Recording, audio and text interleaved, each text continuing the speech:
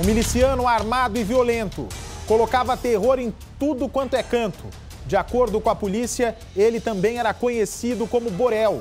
Tinha 40 anos de idade e morreu baleado pela polícia. Põe no ar.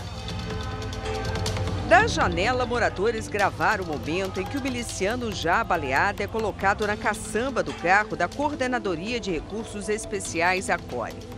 Denis Monteiro Marques, também conhecido como Borel, tinha 40 anos e era um dos alvos da operação de combate à milícia da Delegacia de Repressão às Ações Criminosas Organizadas, a DRACO. Os agentes foram até a comunidade da Musema em Jacarepaguá, na Zona Oeste, para investigar o grupo paramilitar que atua na região. Segundo a polícia, no momento em que os agentes chegaram ao apartamento que servia de esconderijo para o criminoso, Denis teria feito vários disparos contra a equipe. Na troca de tiros, ele acabou sendo baleado. Foi levado para o hospital, mas não resistiu. Ele transitava é, ostensivamente, de forma é, armado, é, sempre impondo terror, é, deixando as pessoas numa situação é, de segurança por meio de extorsão, cobrança de taxas, enfim. As, as conhecidas práticas ilícitas que a, que a milícia é, é, comete, né, normalmente. Os policiais também apreenderam uma pistola, munição, caderno com anotações da contabilidade da milícia e dois aparelhos celulares. As investigações revelaram que Denis liderava um grupo paramilitar que atua em duas comunidades da Zona Oeste, Muzema e Rio das Pedras. Segundo denúncias de moradores, ele sempre andava armado e era muito violento.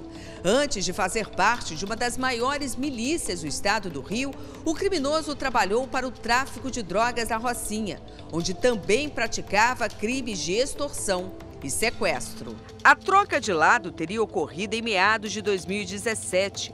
Antes disso, o bandido atuou ao lado do traficante Antônio Francisco Bonfim Lopes, o NEM. NEM foi coroado dono da Rocinha em 2004. Por quase uma década, foi o traficante mais procurado do Rio, até ser preso quando tentava fugir do cerco da polícia.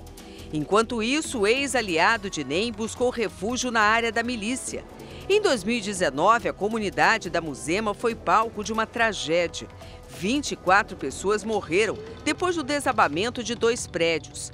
As construções eram clandestinas e tinham sido negociadas por meio de transações imobiliárias ilegais feitas pela milícia local.